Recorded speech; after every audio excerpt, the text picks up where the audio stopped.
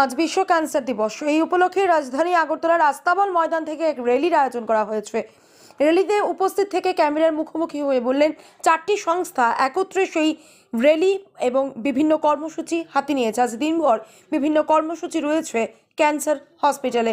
Bureau report, social Bangla. আজ fourth February, world cancer day. এই দিনটা আমরা আজকে এখানে আগরতলায় যৌথভাবে পালন করছি।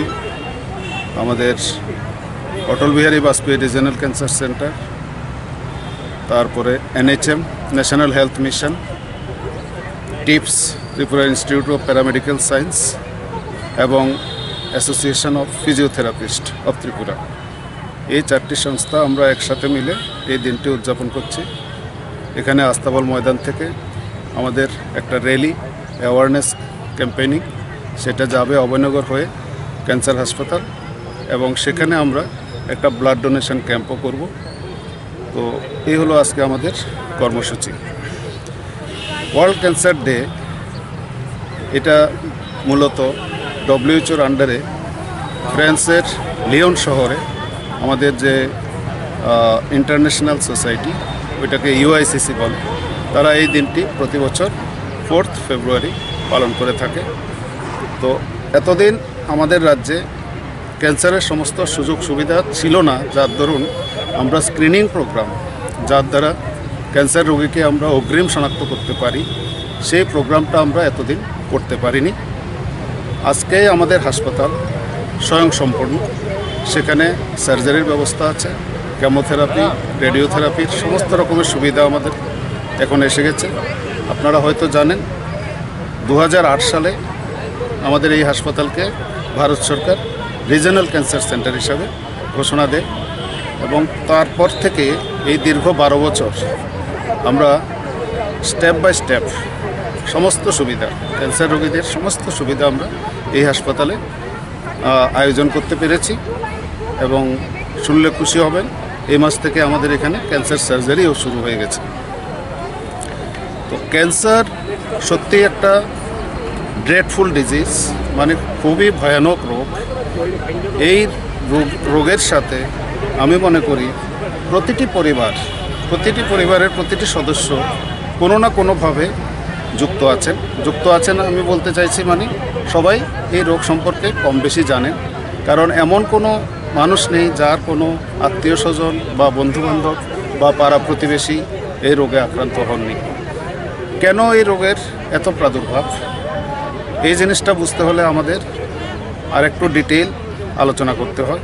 এই রোগটা কিন্তু নতুন কোনো রোগ নয়।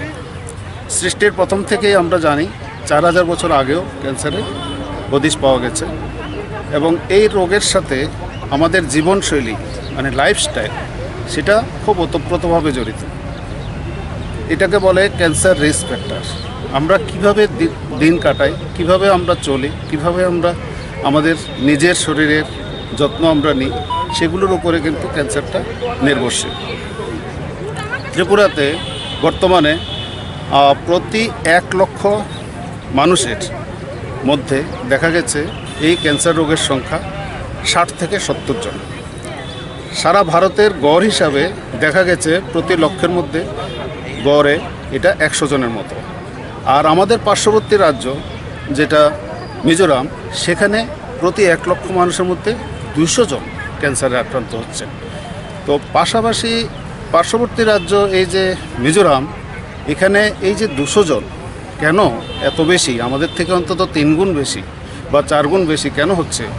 তার কারণও খুঁজে পাওয়া গেছে। দেখা গেছে সেখানে কম বেশি প্রতি পরিবারের মানুষই লিকুইড টোবাক্কো মানে তামাককে ওরা লিকুইডভাবে মানে তরলভাবে ওনারা কম বয়স থেকেই গ্রহণ করে যাচ্ছেন। কম বেশি সব পরিবারেরই এরকম দেখা গেছে। এখন সেটা একটা জেনেটিক মানে বংশ পরম্পরায়ও এই রোগটা সেখানে দেখা যাচ্ছে প্রতি, প্রায় প্রতি ঘরে ঘরে। তো আমাদের রাজ্যে কিন্তু ক্যান্সারের প্রকোপ পুরো নর্থ ইস্টের মধ্যে আমি বলব সবচেয়ে কম। ষাট থেকে সত্তর জন। তো এই হিসাবে প্রতি বছর আমাদের রাজ্যে আমরা ক্যান্সারের রুগী, নতুন রোগী পাচ্ছি প্রায় আড়াই হাজার। আমাদের হিসাব মতে এটা হওয়া উচিত প্রায় তিন হাজারের মতো। বাকি যে পাঁচশো রোগী আমরা পাচ্ছি না, তার কারণ তাদের মধ্যে অ্যাওয়ারনেস নেই মানে সচেতনতার অভাব।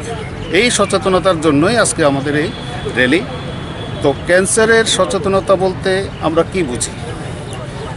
ক্যান্সারের সচেতনতা বলতে আমরা বুঝি যে কতগুলো ওয়ার্নিং সিগন্যাল থাকে।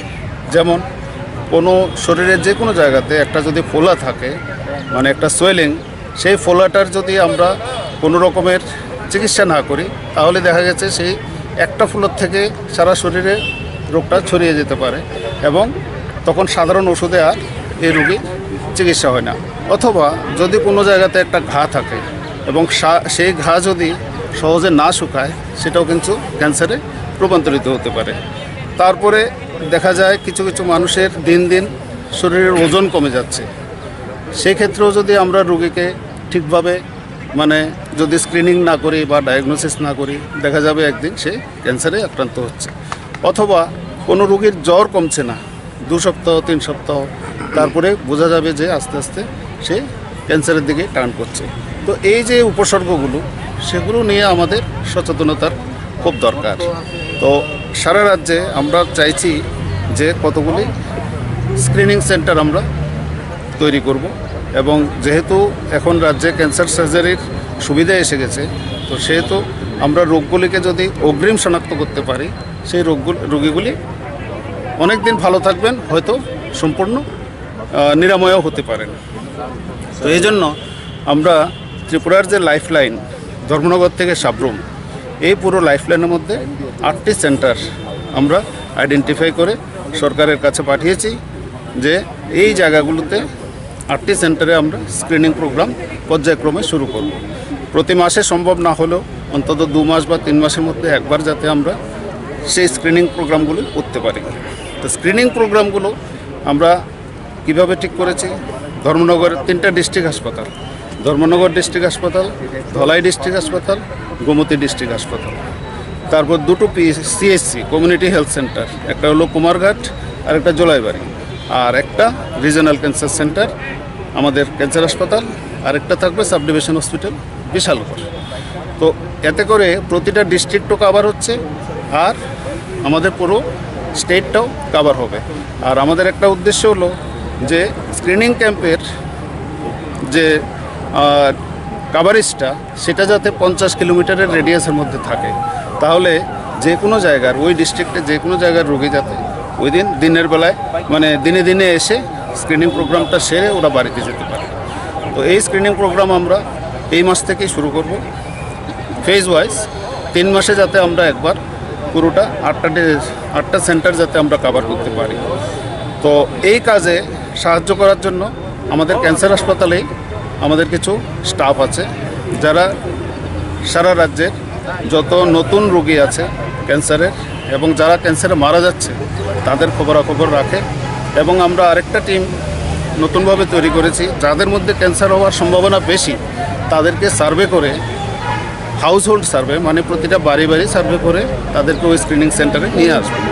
তো এতে আমরা এনপিসিডিসিএস আমাদের ন্যাশনাল হেলথ মিশনের যে একটা বড় প্রোগ্রাম সেই প্রোগ্রামের যারা স্টাফ আছে, তাদেরও আমরা সহযোগিতা পাব। তো এই আশা রাখি যে যদি আমরা স্ক্রিনিং ক্যাম্পে মানে সন্দেহজনক, ক্যান্সারের সন্দেহজনক আক্রান্ত হতে পারে, এরকম যদি তিন হাজার মানুষ আমরা আইডেন্টিফাই করতে পারি, দেখা যাবে সেখানে অন্তত দেড়শো জন ক্যান্সারের রোগী থাকতে পারে। তাহলে কি হবে? রোগীগুলো খুব শুরুতে শনাক্ত হয়ে যাবে এবং তাদের লংজিভিটি মানে তারা অনেক বেশি দিন বাঁচতে পারবেন যদি তাদের ঠিকভাবে আমরা চিকিৎসা করতে পারি।